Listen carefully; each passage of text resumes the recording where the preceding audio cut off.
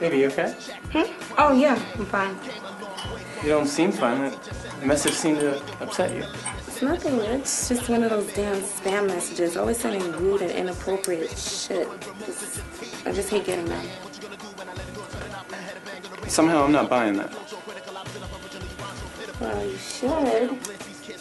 And while you're at it, you should probably get sweet.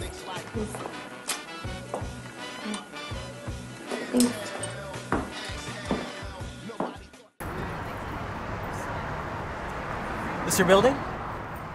Yeah, Nice. guess.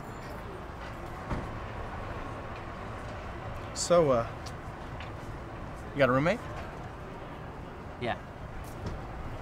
Not your boyfriend, I hope. You know what? Keep them.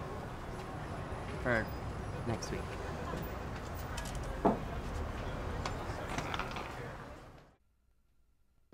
You. If you ever use that putrid fucking mouth again, or if you even consider taking one step from where you're standing right now, I will kill you. You